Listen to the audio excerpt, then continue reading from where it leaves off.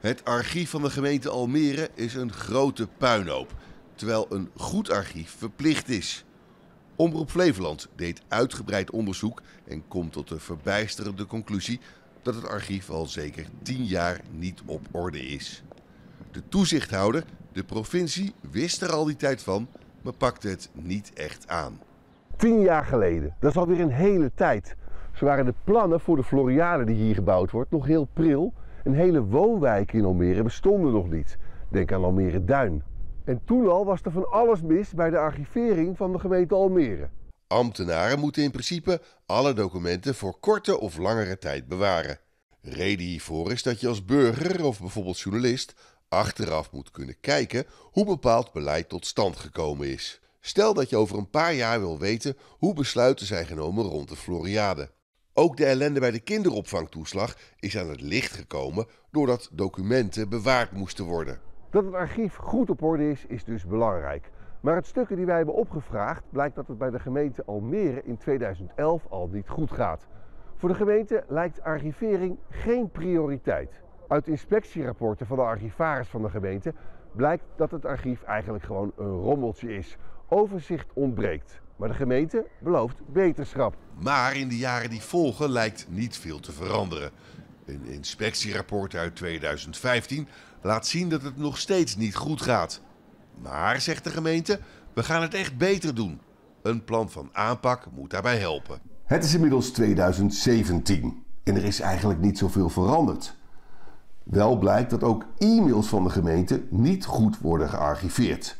De gemeente belooft wel goed uit te kijken met het wissen van mailboxen. Maar dat voorzichtig omgaan met het wissen van e-mails, dat is niet echt gelukt. En dan is het alweer 2018. Het wordt eentonig, maar het gaat nog steeds niet goed. Van de 33 punten waar een archivering aan moet voldoen, zijn er maar drie goed. En nog erger, bij 22 lijkt helemaal niets gedaan. Alles wat rood is op deze lijst is nog niet goed geregeld. En dat is nogal wat. Twee voorbeelden. De gemeente heeft geen idee hoe om te gaan met het vernietigen van documenten. En eigenlijk weet ze ook niet goed hoe dingen worden opgeslagen en wat er precies wordt opgeslagen. De toezichthouder, de provincie dus, zit Almere al jaren achter de broek om de dingen op orde te krijgen. En is er inmiddels behoorlijk klaar mee. En dat blijkt ook wel uit de volgende notitie van de provincie. De informatie van de gemeentelijke organisatie in digitale en papieren vorm verkeert in het algemeen niet in een goede, geordende en toegankelijke staat.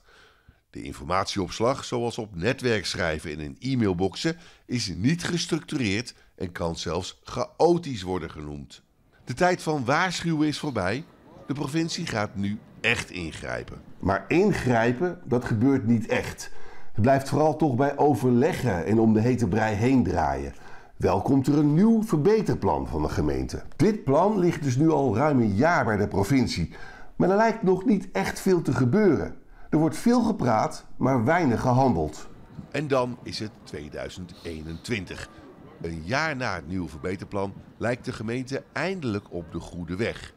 Maar de toezichthouder de provincie is nog lang niet tevreden. Er moeten nog grote stappen gemaakt worden.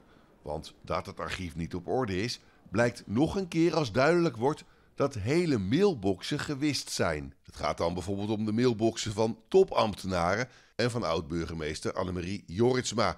En de gemeente weet er al jaren van. Dat dit echt niet best is, begrijpt ook burgemeester Frank Weerwind. Met de kennis van nu vind ik dat ik de raad eerder had moeten informeren. Explicieter en duidelijker. De gemeente heeft nog geprobeerd mailboxen terug te halen, maar in de meeste gevallen is dat niet meer gelukt. Vanaf 1995, dus dat is een periode van ruim 25 jaar, zijn maar 9 mailboxen volledig bewaard. En zelfs dan kan je aan de compleetheid twijfelen. Je weet dus niet precies wat er weg is en of de mailboxen die er nog zijn wel compleet zijn. De provincie zegt dat de redelijke termijn van de gemeente om de problemen met het hele archief op te lossen binnenkort afloopt. En daarom is er deze maand nog een overleg tussen de burgemeester Weerwind en de commissaris van de Koning, Leen Verbeek. De conclusie van dit verhaal. Na tien jaar lijkt het kwartje eindelijk te vallen bij de gemeente dat het archief op orde moet zijn. Het begin is er, maar er moet nog veel gebeuren.